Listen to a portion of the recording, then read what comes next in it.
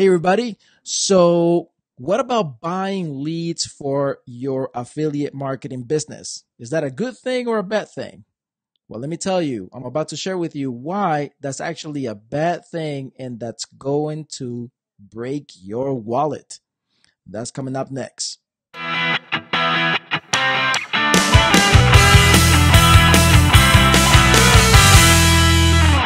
This is Eddie Sand, and I am here to tell you why you shouldn't be buying leads for affiliate marketing business. You should not be doing that. And let me explain why. So right now, everybody, well, not everybody, but a lot of online entrepreneurs are getting ready to start investing, start putting money and using their marketing budget for advertising, right? Uh, also, if you are just starting with your affiliate marketing uh, company or business, or you've been struggling and you happen to be hearing other people buying leads, maybe even you've been seeing those Facebook ads where they say, "Hey, buy leads and get guaranteed results, increase your sales and increase your list and all that stuff," right? Be cautious about that.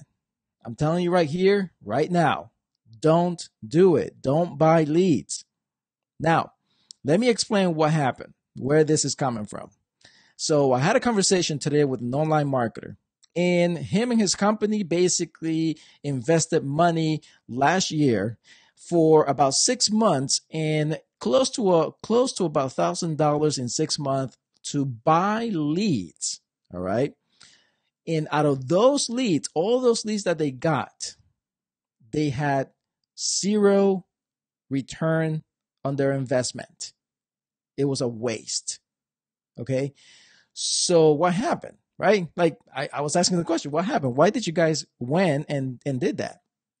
Well, they basically fell trap to what's out there. The uh, advertising companies uh, or agencies, and they say, hey, you know, we get you leads, guaranteed leads, uh, so many leads per month, per month, and that's it.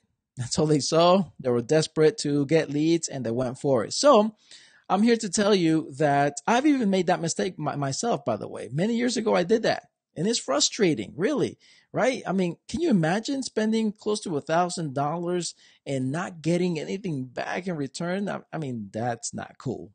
So I'm here to give you the warning. Don't fall for that. All right. Especially again, if you're listening to me, if you are just starting out, do not go fall for buying leads. So here's what you need to understand about that. First of all, when you go and buy leads, what happens is that you're practically playing the lotto. You're hoping that the list that you're getting is what people want to buy from you like whatever you're offering that those those leads are basically going to say oh my goodness I'll definitely buy what you have, or I'll join your company, or whatever it is that you're selling or doing. You know, that very rarely happens. And the reason for that is because people who or agencies, companies, whoever is basically selling these leads, they don't tell you much about it, right? They don't give you a lot of details. Okay, so you've got to understand they may be old leads, uh, they may be leads that they're just left in the dust you know, no life in it, and all of a sudden they're just going to give them to you. Uh, it may be the wrong people. All right. It may be the wrong people. They're maybe just not interested in what you have to offer, but yet you bought them. Okay. So you're going to have to be careful with all this advertising out there about buy leads, buy leads, and you'll be, you know, successful online. Don't do that. Don't do that. Okay. Now, you will also come across something else called solo ads since we're in the subject about buying leads. Solo ads, what that is, is you're practically buying uh, advertising and using somebody else's list, email list. Okay, so that person or that company they that you pay, they're going to take your sales page or sales copy or sales email letter and they're going to send it to their list and you are hoping that someone bites and comes to your list, right? Joins your subscription uh, opt-in list, and then they buy.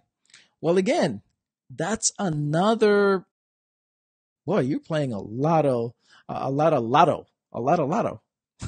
that sounds funny. you're playing a lot, you know, you're gambling a lot, right? Okay, you got to stop doing that. Because unless now now here here's how I feel about solo ads by the way. I'm in between. Because unless you do your research, and I'm talking about solo ads, okay, you got to find out who you're buying from. You got to find out about their list. You got to find out have they been uh, engaging with their list. Uh, you got to find out what type of information or services or products their list buys. You got to also find out how old is their list. All right. Uh, also, you got to find out what this person or company are doing. You know, are, are they legit? Are they a good company? What are their ratings? Can you trust them? You got to do your research. Okay.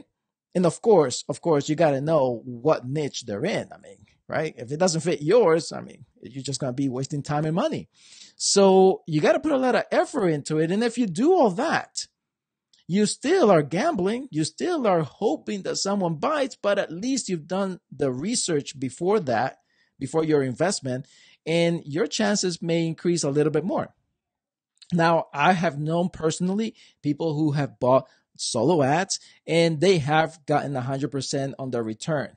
Okay. But again, that's really rare. And plus, you're going to have to invest five or 10 grand just to do that. You have to get a good, good quality list. So again, I'm telling you, you're going to end up as an affiliate marketer finding out all these extra ways or new ways, or they're not new, they're old. You know, solo ads, uh, buying leads. Uh, don't fall for that. Don't fall for that. And what you're going to do, because I'm sure you're asking now, okay, Eddie, got the point. What is the point? What do you want me to do now? I want you to work for your list. I want you to understand your niche, understand your market, how to engage with them, what's your approach? How where are they? And what are you going to do for them? What value can you offer them? And do it. Because friends, that's the only way you're going to actually succeed in your business. You you have to come with, from a place of helping others and helping them enough or helping them like really good and enough so that you can gain their trust so that they will like you and therefore a result from those two things trusting and liking you they're going to now buy from you. Whatever it is that you're selling whatever your company or your program system or your commission system whatever it is that you're doing it never fails. Okay? So as a matter of fact, thinking about it, you know, if you even were thinking about spending money in buying leads or buying solo ads, if you're going to still spend the money, I would tell you spend it in Facebook ads. Hey, even if you don't know anything about Facebook ad, if you put a Facebook ad out there and you get information because you do get stats, right? You get demographics and psychographics of practically your ad you're going to get that's valuable information. Okay. Even if you don't get 100% money back or 100% return on your money invested in ads, you're getting quality information. And that information you can use to target better or to understand better your market. You see? So that's money well spent. All right. So there's no rich, get rich quick thing out there. There's no buy leads and make a million dollars next year or next month. Okay. You got to be cautious about that. So that's what I have for you today. And I'm, I'm so glad that you stay here with me because there you go. Subscribe to my channel. And here is actually, this is something that I just actually did a video on eddiesand.com, find buyers. Um, I feel that if you haven't downloaded that yet, it's a, it's a free report that I created basically covering some of the strategies that you should be focusing on to get more leads or to get better leads, quality leads. Uh, and the way you do it is by doing three strategies that I put in that uh, report. So go ahead and download that too, and you can visit that site and download it. But uh, yeah, you know, you're here, you listen to me, subscribe, uh, share. If you think this is a good uh, information that I just share with you, give me a like and I will talk to you later. Peace.